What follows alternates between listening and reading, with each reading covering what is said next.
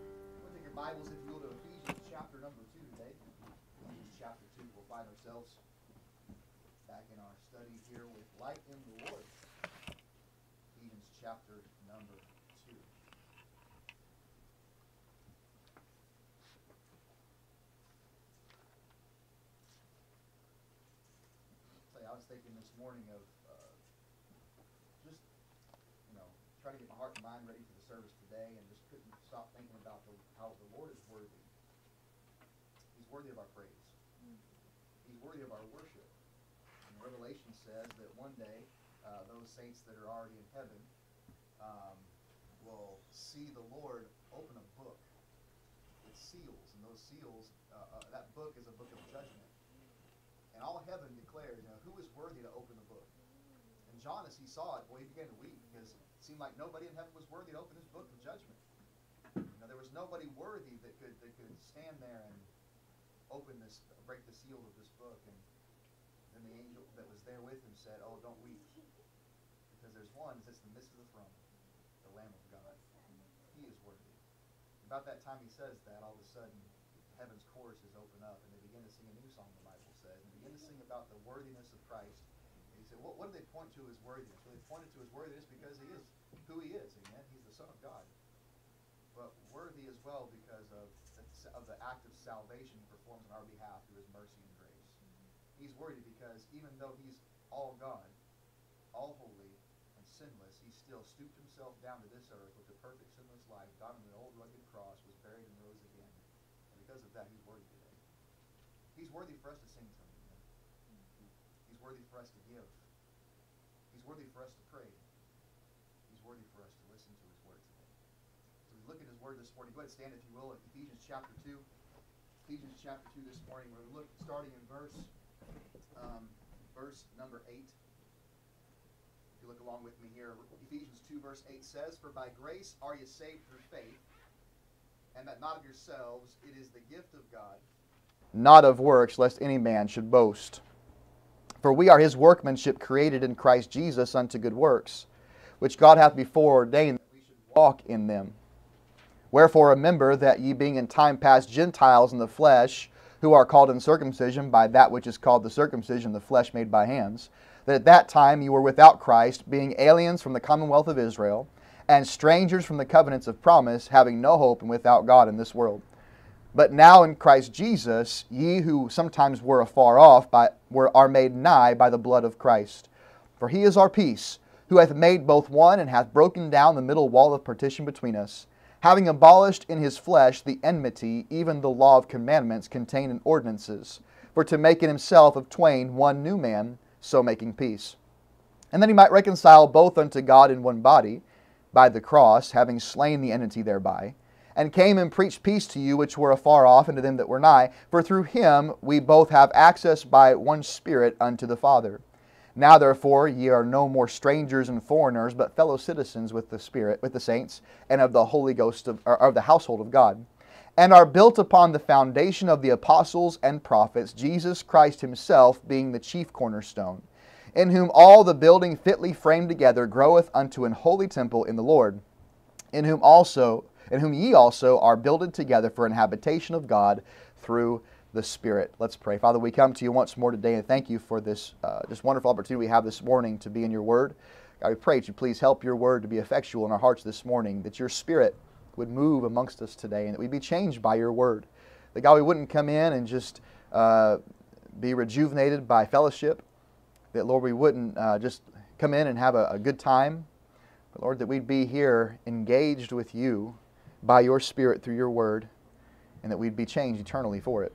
We pray for the one that might be here this morning who does not know you as their Savior. God, I pray that today that it would be the day they would place their faith for forgiveness of sins and eternity with you in the finished work of Jesus Christ. Lord, that they wouldn't leave comfortable in their sin, that they would leave convicted if they don't receive you today. And Lord, we pray that you'd give us an opportunity to share that good news with them. Lord, we pray you bless uh, the, the, the saint this morning, the one who's here that knows you. And that God, you'd help us to be ever closer to you. We love you. We commit these things to your hands now in Jesus' name. Amen. Thank you so much, and please be seated today.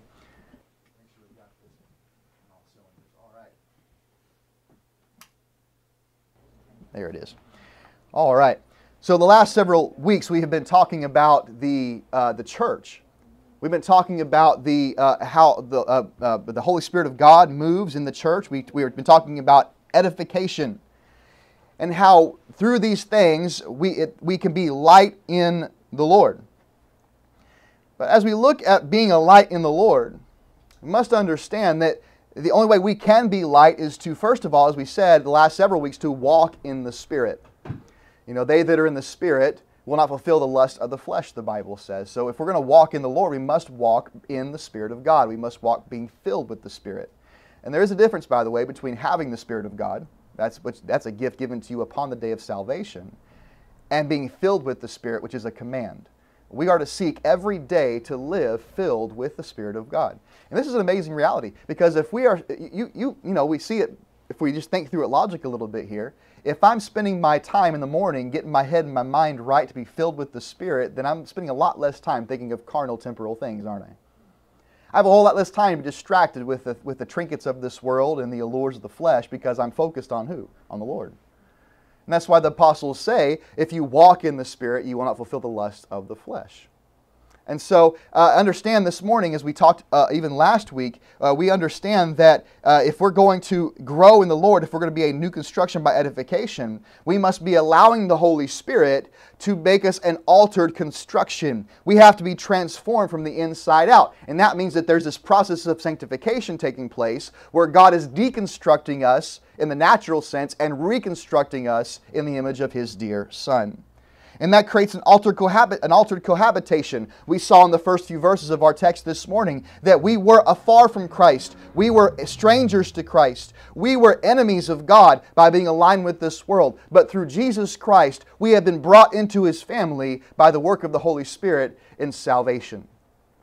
We also have an, an altered compulsion you see in verses 9 through 10 there, not of works, lest any man should boast, for we are his workmanship created in Christ Jesus unto good works, which God hath before ordained that we should walk in them. And so, first of all, our priority must be that we walk in the Spirit, but as a result of walking in the Spirit, we must then endeavor to walk in good works.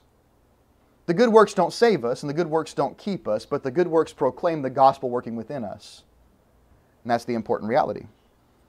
And so this morning, as we look further at this thought of a new construction by edification, we must look at the foundation of the church because the second tool that God has given us to help us in this process of growth is, yes, uh, uh, uh, the, the uh, Holy Spirit using the Word of God, but also how the Word of God works through His church.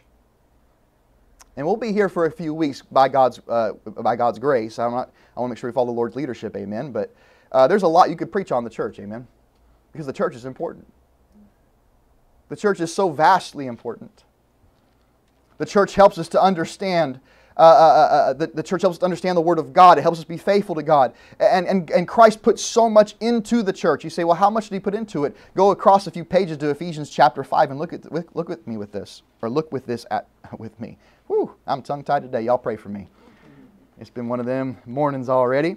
Uh, God's been good, though, amen. And we trust in His Spirit to help us today. Ephesians 5, and you look in verse number 25.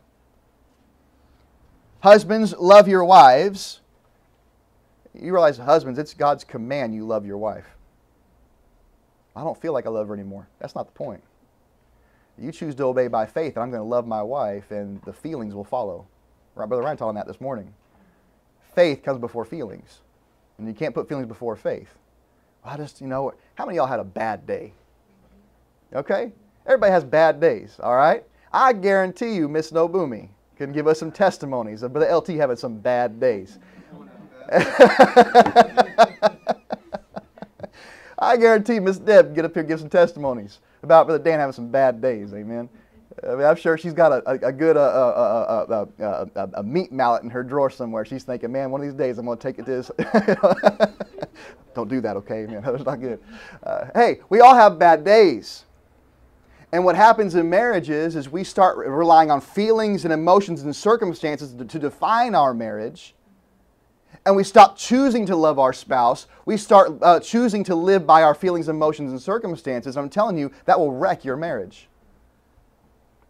This is why God says, Husbands, love your wives. Here's the thing look, look at the rest of it. Even as Christ also loved the church and gave himself for it. Oh, go in your mind's eye to Gethsemane and see Jesus there hunched over a rock, uh, sweating as it were great drops of blood for you and for me. And what were his words? Father, if it be possible that this cup can pass from me. If there's any other way that your church can be redeemed, if there's any other way your will can be accomplished, if there's any other way, let it be so. Nevertheless, not as I wilt, but as thou wilt. It was a conscious choice that Jesus hung on that cross. It wasn't some mechanical compulsion that hung Jesus there. It was a passionate desire to redeem you to his side. And husbands, to love your wife that way. Verse 26, and what, how does that represent? How does that uh, blossom? What, what does the picture grow to? Verse 26, that he might sanctify and cleanse it with the washing of water by the word that he might present it to himself a glorious church, not having spot or wrinkle or any such thing, but that he should be holy and without blemish. So ought men to love their wives as their own bodies. You understand this morning that Jesus gave his very lifeblood to redeem you and to bring the church into existence. There was a great price paid for the church. And if Jesus is going to pay that price for the church, I think church might just be a little important. You say, well, what is church? Go back to our text here, if you will, and look in verse number 20. Because there is a sanctification that takes place in, instantly in the life of the believer when they get saved. They are translated from the world into the family of God. They are placed from one, one place to another. But there's also a progressive sanctification that takes place whereby you are being built into the image of Christ. We have already said over and over the last few weeks. I'm not going to beat a dead horse, okay? Amen. But we, the Holy Spirit is crucial for that, for that sanctification to take place. You must follow the Spirit of God. You must seek to be filled with the Spirit of God. But you also have to utilize the other tools that Christ has given us to grow. And that includes the church. But what is the church? How would you define the church? Well, you find here, verse 19, Now therefore you are no more strangers and foreigners, but fellow citizens with the saints, and of the household of God, and are built upon the foundation of the apostles and prophets, Jesus Christ himself being the chief cornerstone, in whom all the building fitly framed together groweth unto an holy temple in the Lord, in whom ye also are builded together for an habitation of God through the Spirit. If we're going to biblically define the church, we could say it this way that the church began in its insemination with Christ and the apostles. As Christ called out the apostles to follow him, he said he was beginning, he was laying the groundwork for the church. And it must be that way. This is why the Bible says in verse 20, are built upon the foundation of the apostles and prophets and Jesus Christ him alone being the chief cornerstone. What, what did Jesus tell uh, Peter? He said, Blessed art thou, Simon Barjona, for spirit and uh, uh, for flesh and blood have not revealed this unto you, but my Father which is in heaven. And I say unto you that upon this rock will I build my church, and the gates of hell will not prevail against it. What's he saying there? He's saying, look, uh, it's important you recognize who I am, Peter, because I am the rock that the church is built upon. He's the cornerstone.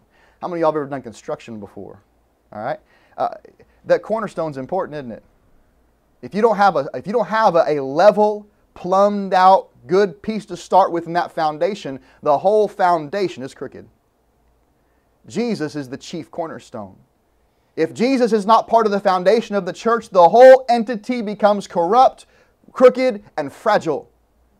So Jesus must be the chief cornerstone, but he himself has allowed the apostles and prophets, that is, the apostles he taught and the prophets of the Old Testament, the witness of the Old Testament and the law and the prophets, to be the foundation of what the church is. To simplify it, if you, if you will, the Bible, the apostles, and Jesus Christ and a, and a, must be what the church is built upon. We can say it this way in a simple definition. A, a, a, biblical church is a group of saved, baptized believers that are joined together voluntarily by the will of God for worship, service, and edification. I'll say it again. A church, a biblical church, is a group of saved, baptized believers that are joined together voluntarily by the will of God for worship, service, and edification. Turn to Acts chapter 2, holding your place here, and we'll see this.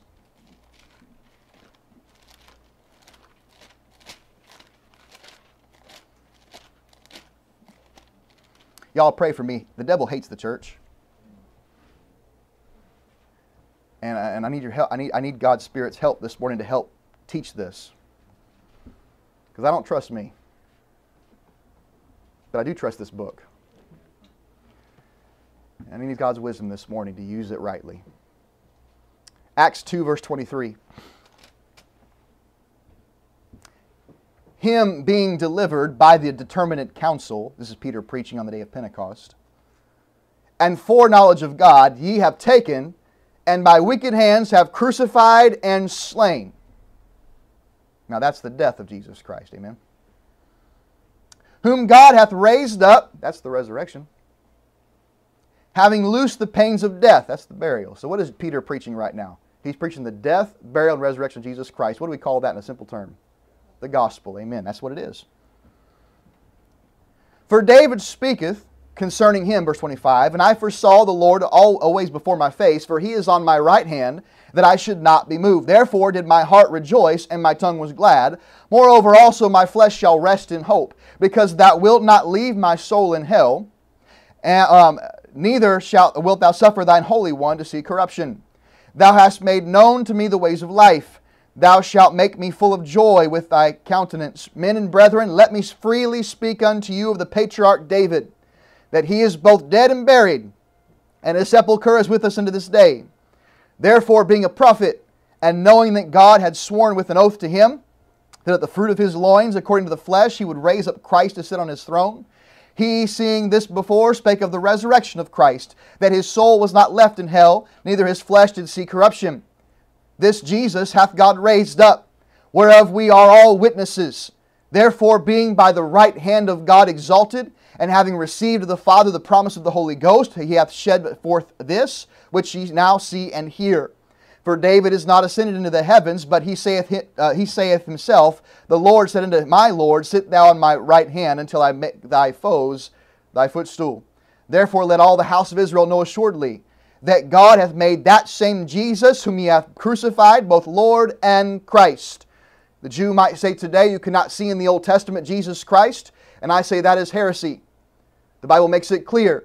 Jesus himself even saying that you look in the, look in the law, look in the look in the Pentateuch, look in, in the in the books of, of the prophets. You, in, in them you think you have life, but in them these things are spoken concerning me. Jesus said, I am the one, I'm the focal point of the scriptures. And you go back all the way to the Old Testament, Genesis through Malachi, and what you'll find all the way through every book of the Bible is a scarlet cord woven in and out of every verse, pointing to Jesus, pointing to Jesus, pointing to Jesus. Why? Because there was coming a mystery called the church, and Jesus was going to establish it in his very lifeblood in our forgiveness, in our sanctification. That's what Peter's preaching. And he says to them, This same Jesus whom David is referring to, this Lord that Jesus that David's referring to, whom ye have crucified, but he is both Lord and Christ. Verse 37. Now when they heard this, they were pricked in their heart and said unto Peter and to the rest of the apostles, Men and brethren, what shall we do? They were convicted. We killed him. Could you imagine that moment? The entire Old Testament pointed to the coming of Messiah. Uh, uh, da- uh, Daniel's prophecies pointed to when Messiah would come. Isaiah pointed to when Messiah would come. Ezekiel pointed to when Messiah would come. All they had to do was be, it was so clear that some wise men from the east were wise enough to perceive that this was the time appointed when the king should come. Where is he? Could you imagine their frustration when they entered Jerusalem to the very king's, to, to uh, Herod's household in the, pal- in the palace there? Where, who, where is he that is born king of the Jews? Where, where is he? Surely you're, you're welcoming him in fanfare. Where, where's the royal, ba- uh, uh, uh, um, the, the royal nursery? Where, where's the family? Where is he? We want to worship him. We want to present to him gifts. And Jerusalem is quiet. Bethlehem's quiet. No one's looking for the Messiah. But these wise men from the east, they missed it. And then he comes and proclaims himself. He goes into the, ta- into the temple and he reads Isaiah. He reads the prophecy concerning himself and he says, In this day is the scripture fulfilled.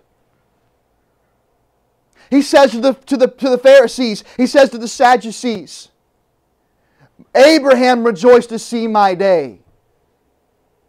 Abraham rejoiced to see me. I sat with him. They, oh, you're but 30 years old. Who do you? Who, and you have Abraham to your father? We have Abraham to our father. And, and he said, Who do you think you are? And he said, Before Abraham was, I am. Declaring him to be the eternal Son of God. You say, how do you know that that was what he was proclaiming? Because they went to stone him. For, and, they, and he says, well, What are you stoning me for? For blasphemy, because thou makest thyself equal with God. The Jehovah's Witnesses out there and the Mormons out there say Jesus never proclaimed himself to be God. That's a lie. Just read the Bible. And you'll find it right there, plain and red, black, and white. They had missed it. And then the, the penultimate moment of the whole experience. Pilate gets up there and he has a, a, a Barabbas on one side and Jesus on the other, and he knows that Jesus is innocent. He knows Jesus has done nothing worthy of Roman crucifixion, the terrible, dreaded capital punishment of Rome for the most desperate malefactors. Jesus was not worthy of this. And so he tries to take a loophole. Who, who will you have me deliver to you? Barabbas, this terrible serial killer and serial thief? Or Jesus? And they said, Give us Barabbas. And, and Pilate, what does he do? He, he does the political thing. Because they, they threw something in his face that day. They said, Oh, you're not Caesar's friend. Now, many of us would read over that and say, Well, ooh, you're not, what is that, playground insults? You know, it's, ooh, you're not Caesar's friend. No. He, it's a political coined term. It was those who had the title of Caesar's friend attached to their names had free and unfettered access to Caesar. They could do things without the, the normal bureaucracy because they had the trust of Caesar. And so they- were saying, the Pharisees and the Jews gathered together that day were saying, Hey, Pilate, you don't do this, we're going to complain to Caesar about you. And he, he collapsed. He tried to capitulate the crowds. He walked over to a, had a basin of water brought to him, and he ceremonially put his hands in the water and washed them and said, This day are my hands clean of the blood of this man. And they said, and this is the penultimate moment, the Jews cried out, His blood be upon us and our children. Oh, the irony of that statement. They said it in hatred, but they had no idea they needed it in actuality. Because we are saved by the blood of the crucified one. They had no idea. They had missed it in their hatred, in their self righteousness, in their pride, and they crucified him. And finally, Peter gets up to preach full of the Holy Ghost, baptized uh, with, this, with this new gift of the Holy Ghost of God to his church. And he gets up and preaches the best message of his life. He says, You crucified the very Messiah. And you can almost feel it's that moment whenever the whole world just stops. We missed it. They were broken, they were cut to the heart. Men and brethren, what shall we do? Can you hear the desperation? What do we do? Is it too late for us? Is there mercy for me? Is it too late for us? What does he say? Verse 38. Then Peter said unto them, Repent. And be baptized every one of you in the name of Jesus Christ for the remission of sins. And ye shall receive the gift of the Holy Ghost. Now, there's a lot packed in that verse, amen. But essentially, this the, he preaches the gospel to them. And that word repent, as we defined earlier on, means to take what is said and, and, and accept it as fact and actuality so that it alters your beliefs. So they believed on Jesus Christ, that's salvation. Believing on Jesus Christ, we find from other places in Scripture, is uh, whereby we are then given the, uh, the remission of sins, Romans chapter 10. And baptism is as a result of that salvation experience. And he says, if you put your faith in Jesus Christ and obey him in baptism, you also, in these two, within in that message, in that in that mode of salvation, you will receive the gift of the Holy Ghost. For this promise, verse 39, is unto you and to your children and to all that are afar off. Oh, there's that word again. Even as many as call, as the Lord our God shall call. So he preaches the gospel to these people and they get saved. You say, How do you know? Verse 41. Then they that gladly received his word were baptized. What does that gladly received mean? It means they heard the gospel and they received it in faith and belief. And because of that, they went forward to be baptized in obedience to Christ's command to be baptized. And then we find what happened after that. Verse 42. And they continued steadfastly in the apostles' doctrine and fellowship and in breaking of bread and in prayers. You see, this church, this first church in Jerusalem, was a church to which the gospel was presented. It was comprised of people who had believed and received the gospel.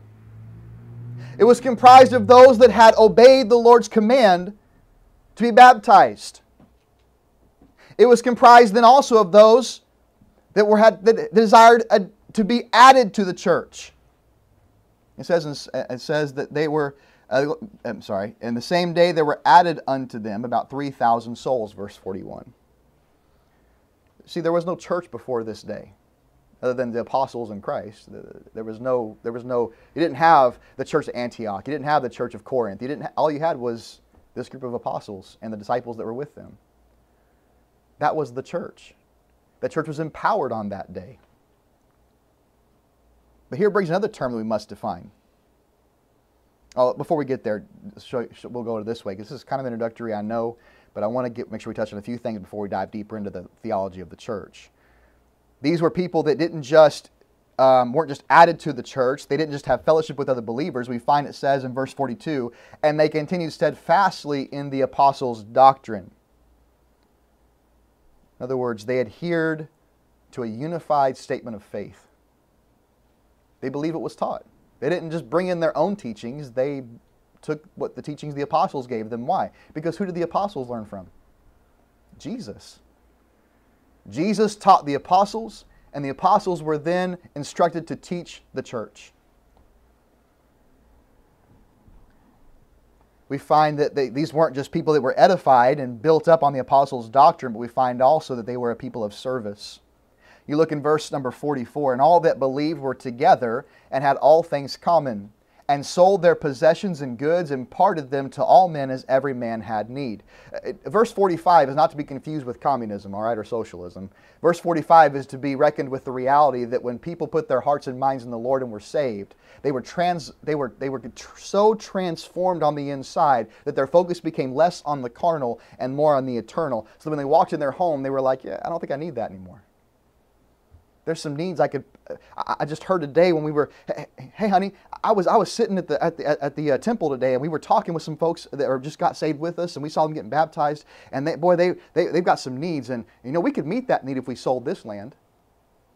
You know, we, we could meet that need if we stopped, you know, buying this stuff, or if we got rid of these things and sold them. Uh, uh, man, I've got an extra, you know, uh, a couple of, of, vases. I've got a couple. I've got a couple extra donkeys, or, or or whatever it might be. Maybe I can give that to them and help them out. Maybe get them, you know, back up on their feet or something. What I don't. I, you could go with, on with all kinds of examples, but the reality was they no longer saw what they had as theirs. They saw it as God's, and they lived that way. It was a transformation of the gospel in them to see the people around them as people that if they had a need, that God had given them the power to meet that need by faith. They were a giving church, and they were a serving church.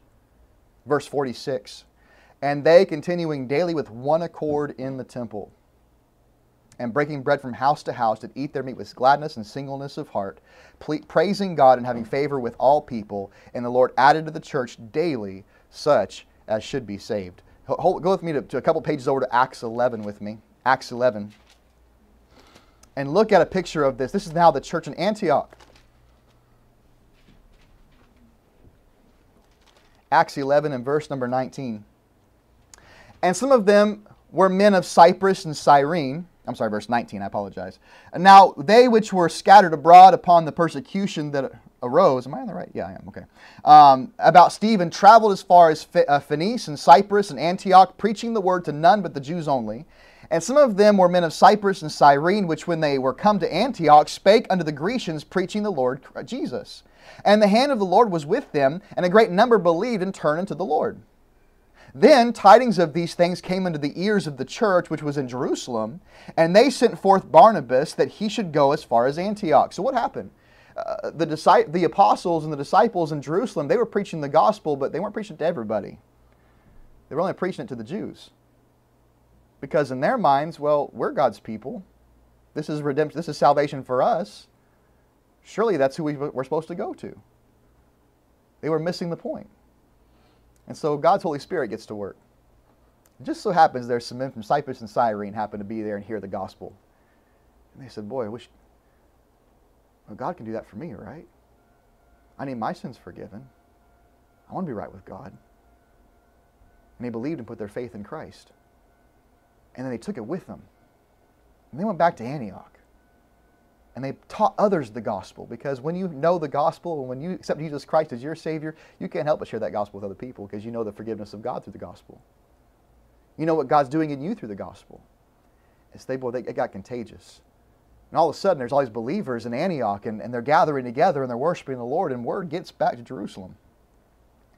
And so they send Barnabas. Now, who is Barnabas? He was a faithful man who was actually in the lot to be chosen possibly for one of the for the for the replacement apostle to replace Judas. He was in that he was in that group. He, that's how faithful this man was. And so this man who was this faithful, they said, Barnabas, we need you to go to Antioch. Verse 23, who when he came and had seen the grace of God was glad, and it says he exhorted them all with, that with purpose of heart they should they would cleave unto the Lord. For he was a good man, and full of the Holy Ghost and of, and of faith, and much people was added unto the Lord.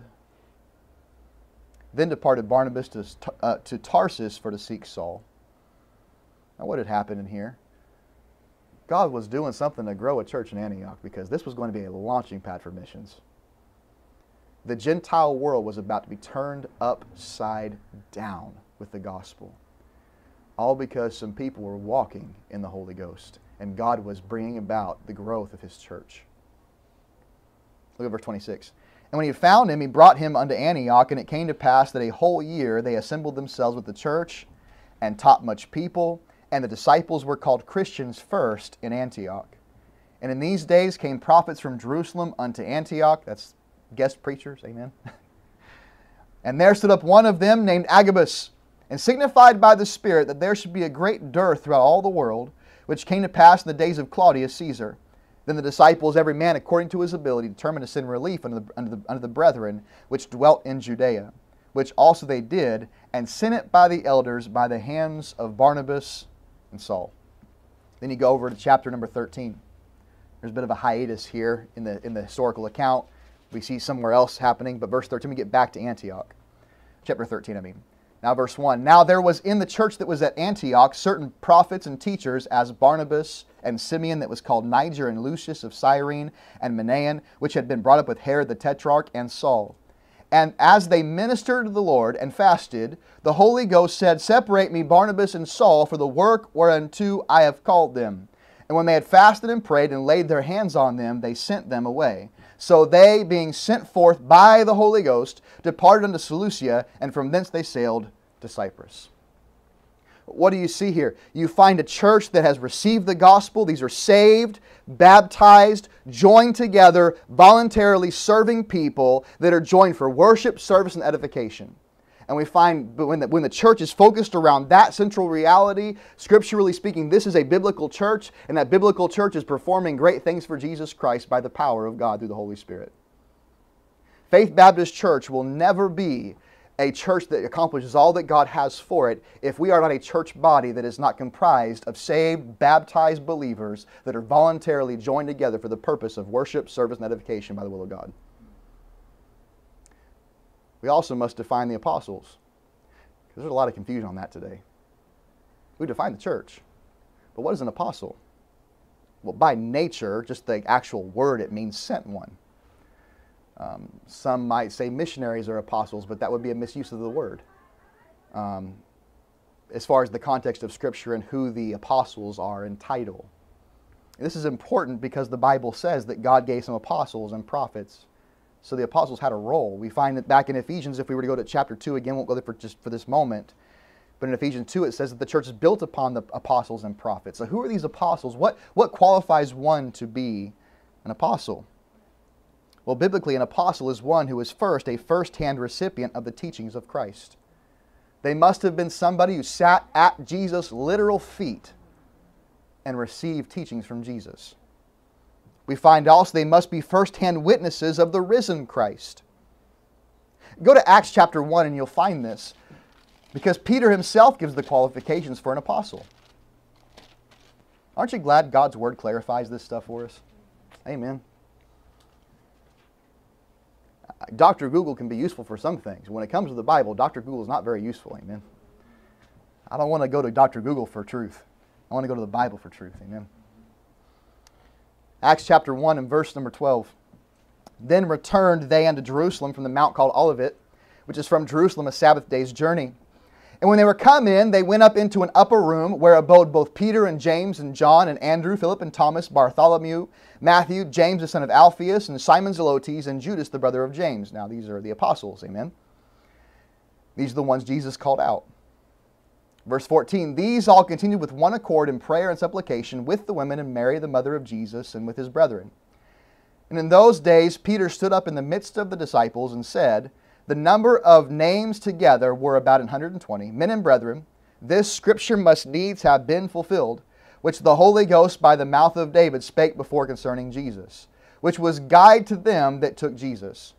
For he was numbered with us and had obtained part of this ministry. Now this man purchased a field with the reward of iniquity. And falling headlong, he burst asunder in the midst, and all his bells gushed out. Boy, Peter getting a little graphic there, amen. And it was known unto all the dwellers at Jerusalem, insomuch that as that that field is called in the proper tongue Aceldama, that is to say, the field of blood. For it is written in the book of Psalms, Let his habitation be desolate, and let no man dwell therein, and his bishopric let another take.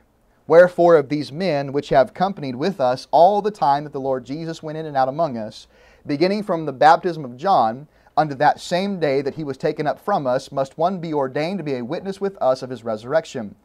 And they appointed two, Joseph called Barsabbas, that's another, that's another way of saying Barnabas' name, who was surnamed Justus, and Matthias.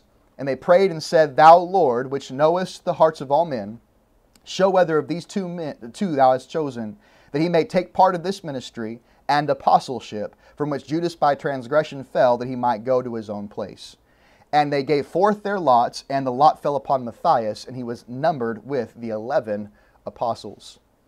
So Peter himself gives us the understanding that uh, will, I'll read this from gotquestions.org. It was the most succinct way to, to write this, and I don't want you to think this is my writing, okay? Uh, but th- I, I loved the paragraph and the way this is said. Peter proposed choosing a new apostle and set the qualifications. Not everyone could be considered for an apostleship. Candidates needed to have been with Jesus during the whole three years that Jesus was among them. That is, he needed to be an eyewitness of Jesus' baptism when the Heavenly Father validated Jesus' person and work. He needed to have heard Jesus' life changing teachings and been present to see his healings and other miracles. He needed to have witnessed Jesus sacrifice himself on the cross and to have seen Jesus walk, talk, and eat among the disciples again after his resurrection. These were the pivotal facts of Jesus' life and the heart of the message they were to teach. And personal witnesses were required to verify the truth of the good news. So you understand, there was no New Testament. So the spread of the gospel relied on the true witness of eyewitnesses who weren't just there for Jesus' baptism, but were also there for his resurrection. So they could say, look, it's not, it's not a fairy tale. I was there. I saw it. And it wasn't just me, it was so and so and so and so and so and so. And we're not making this up because there was a crowd of witnesses. Now, look, you might could say one person makes something up. You might could say two people make something up. But when you've got above 700 people that are saying, no, no, I saw Jesus resurrected. When you've got 12 men who walked and talked with Jesus and lived with him for three and a half years saying, no, no, there's nothing inconsistent about his character. This is, this is the one whom our hands have handled. We know him. And what we're telling you is what he gave us. They needed that because there was no canon of New Testament yet. It was being written. And we'll get to that in just a moment. The church began with the apostles. The church was empowered on the day they came to observe the feast of Pentecost or the, or the feast of Shavuot. That's what Pentecost was. Pentecost wasn't one day in history. It's not, a, it's not a New Testament church historical thing. It is actually a Jewish holiday, the Feast of Weeks. And, it, the Bible says when the day of Pentecost was fully come, this was a feast of weeks, and there was, a, there was a day when it was the pinnacle of the feast. That was this day. So it wasn't like it was some special day for the church to necessarily observe, but rather it was a day that the Jews were already pres- uh, uh observing. Why? Because this Feast of Weeks, in essence, was a feast to commemorate the, resur- the reunification of God to his people by bringing them out of Egypt unto himself in the wilderness and how he brought them out of slavery and making his and, and, and, and, marking his giving them the law to guide them in this new relationship. So the Feast of Weeks was an observance of how God brought them out of Egypt unto himself and a really a celebration of the fact that God was not just going to bring them out of slavery, but gifted them what they needed to live for him. Do you see it? It's no mistake that they were, they were that the Holy Ghost came and empowered the church on the day of Pentecost. Why? Because that was a foreshadowing in the Feast of Weeks of what was going to take place on that day with the apostles and disciples. On that day, the fulfillment of the promise took place whereby God poured out his Spirit upon all flesh whereby the, then the church that had been called out and the people that had been born again, who had been pulled away from the slavery of sin and the slavery of damnation, and God was then going to gift them the tools that they need by His church, by His Spirit, and by His Word ultimately to be able to live the Christian life. It was a fulfillment of a prophetic feast on that day. What an amazing reality. God does nothing on accident. It's always at His perfect timing. And sometimes we miss it, right?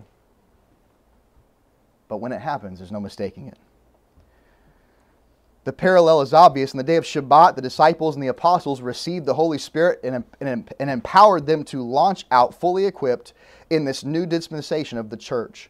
Uh, uh, before God, pouring out His, uh, uh, um, I'm sorry, new dispensation of the church, whereby God poured His Spirit into His people and empowered them to perform the work of the ministry.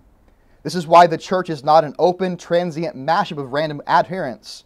But we see from the scriptures that the church at large is seen today as it was then in many local assemblies. And those local assemblies are comprised of people who are born again, filled with the Spirit of God, and able to glean through the gifts of God and His Spirit through the things essential to godliness, or those things essential to godliness and righteousness as taught by from God to the Old Testament prophets and his disciples. And we are still striving to observe their teachings today. A Bible church is still trying to follow the teachings of the apostles. That's why we have the New Testament. You say, how does, where do you see that? Acts chapter 2, verses 41 through 42. Again, we read this already. Verse 42 And they continued steadfastly in the apostles' doctrine. They didn't follow any doctrine, they followed the apostles' doctrine. 2 Peter chapter 3.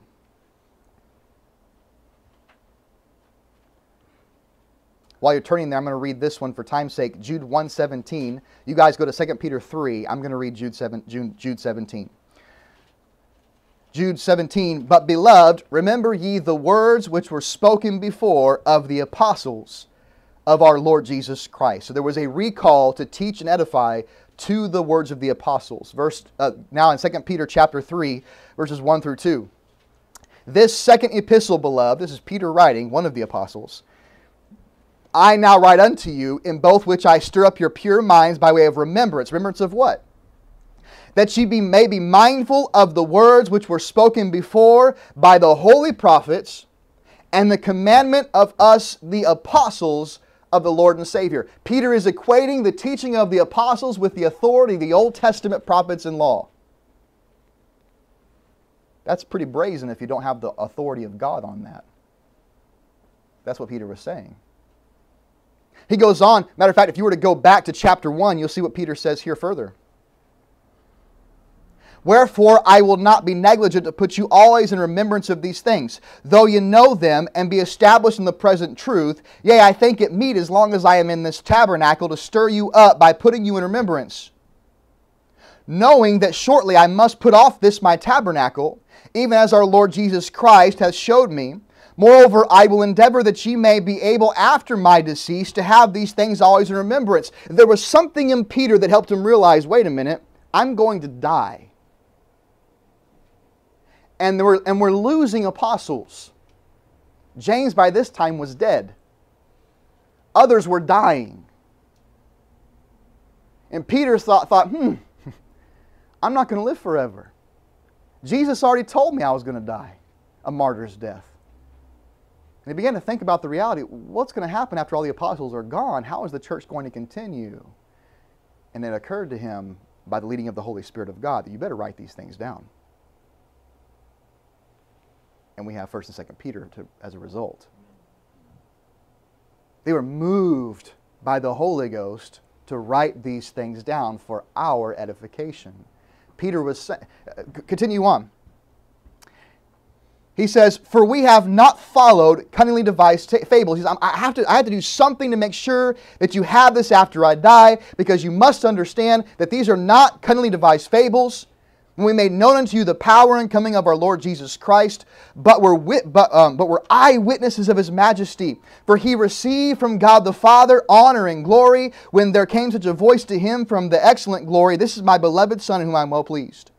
And the voice which came from heaven we heard, and when we were with him in the holy mount, we have also a more sure word of prophecy, whereunto you do well that you take heed, as a light that shineth in a dark place until the day dawn and the day star rise in your hearts, knowing this first, that no prophecy of the Scriptures of any private interpretation, for the prophecy came not in old time by the will of man, but holy men of God spake as they are moved by the Holy Ghost. Peter is saying, I know that I'm not going to be here forever. I know that you're not always going to be able to sit and hear me forever as an eyewitness, but I know that just as we've seen some glorious things, just as, just, just as my witness is sure, Uh, what's going to happen after me is a more sure word of prophecy. I get so tired and exhausted with these, with these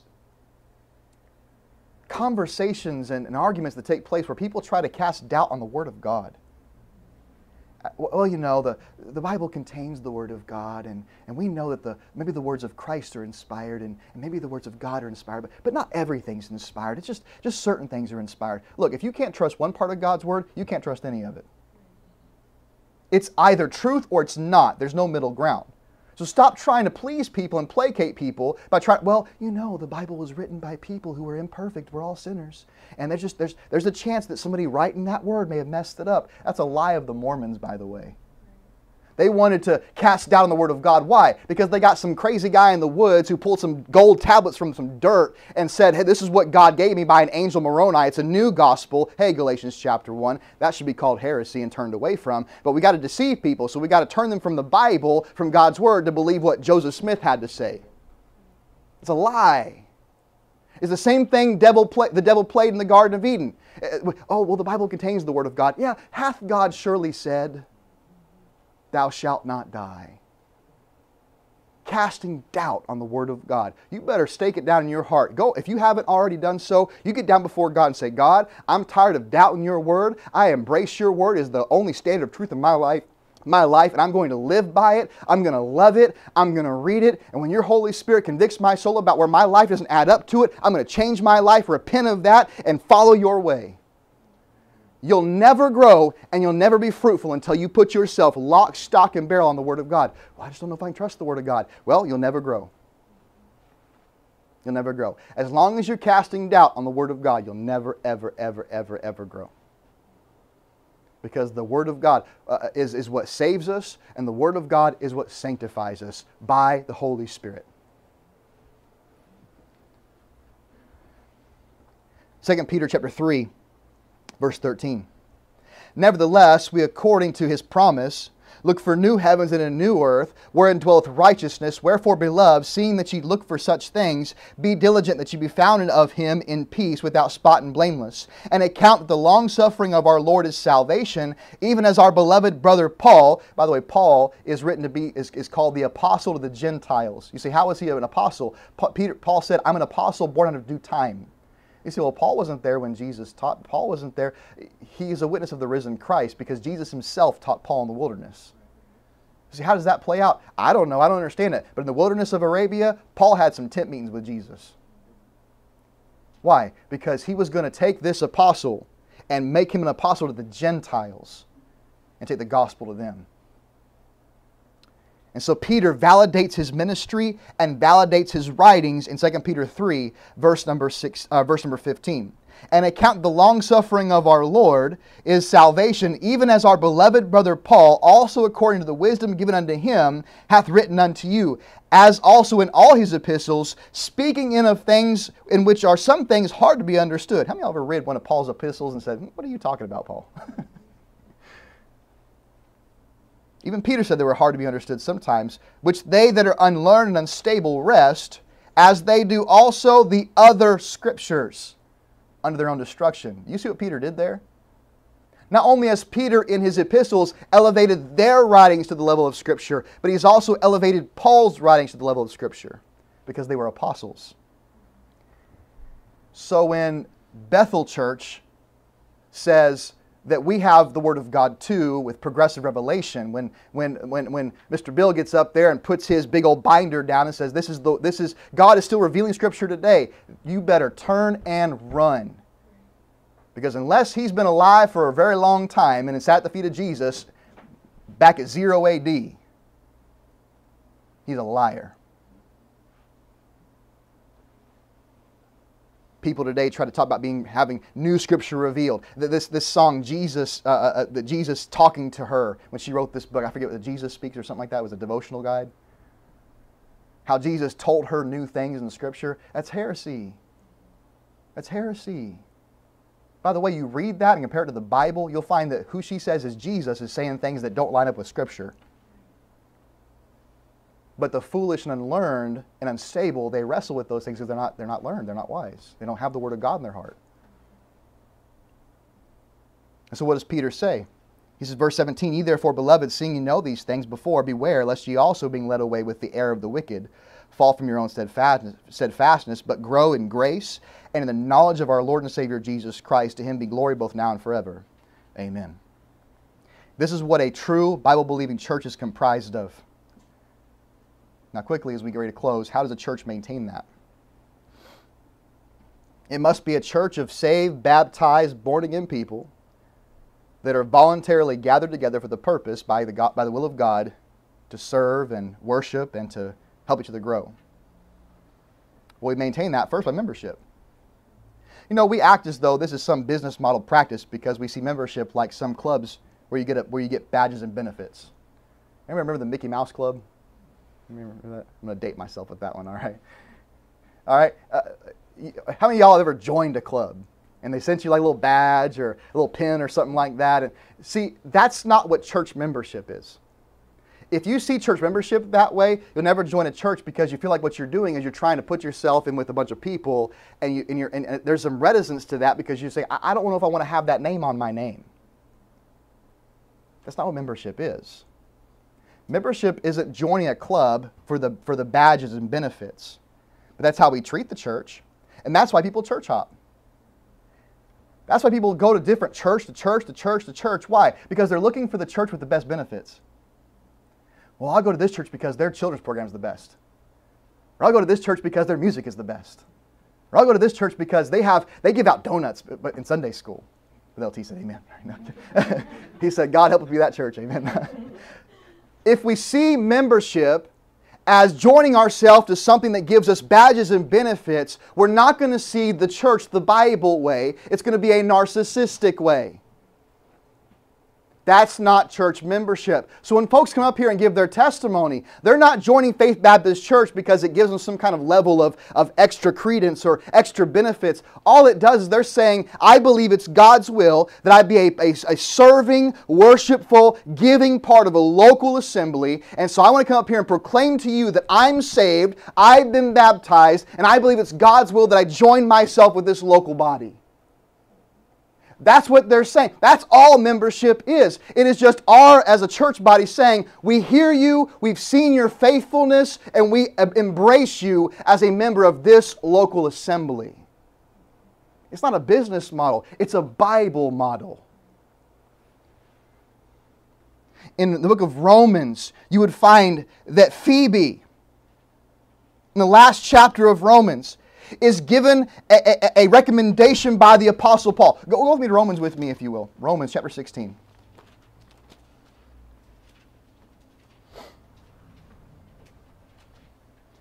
Verse number 1. I commend unto you Phoebe, our sister.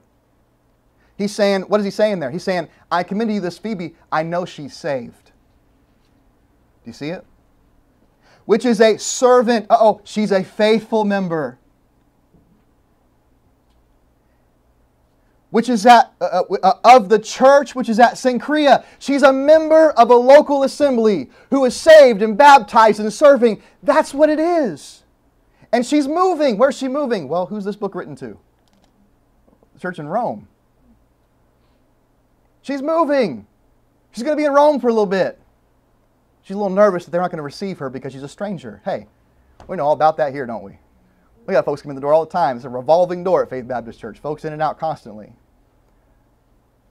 And when, when, we, when folks join the church, we could look at everybody and say, well, welcome in, you're a member of the church. But that's not biblical. And we have folks that attend regularly. That's wonderful. I'm not against that. And we're going to love on you and minister to you as best we can. But I'm telling you, the Bible model is that when you go to some place for any length of time, you better join yourself to a local church. Because it's God's will for your life. You say, how do I know? 1 Corinthians 12, 18. But now hath God set the members, every one of them, in the body as it hath pleased him. So when God moves you physically to a new location, that means he has a local assembly to attach you to.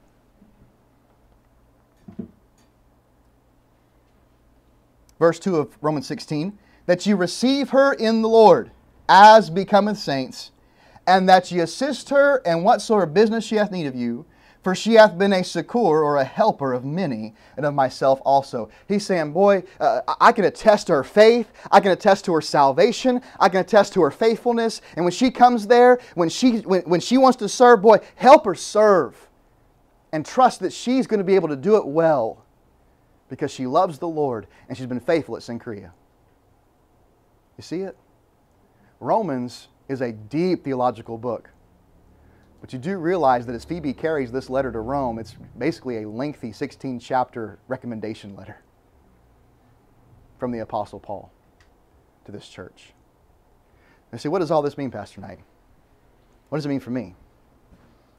If God places each member for a purpose in the place of his desire, then when I neglect to join or attach myself to the local assembly, I am thereby choosing to halt God's ability to flow through me to be a functioning part that God created me to be. It is no action that you're here today. It's no action that, you, that, that God has a church in this place. I praise God that, that, that in 1982, a church was planted in Iwakuni, Japan, that can minister that base population and those around it. I can't wait till the Oishi gets here and plants a church near Hatsukaichi. Because why? One church can't do it all. We've got to reach people, amen? But it takes people, reaching people, who are saved, baptized, and voluntarily joined by the will of God for the purpose of worship, service, and edification. So the heads bowed tonight. Father, we come to you once more today as we close. That we thank you for the day. We thank you for your goodness to us. We thank you for the chance to meet together today. And I pray, God, that you'd have your will and way in our lives as we go from here. Help us not to be faithful in a moment, but be faithful through this week.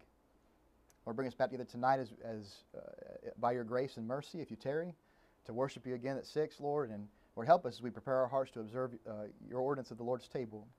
And we'd be faithful to do it rightly. That our hearts be pure before you.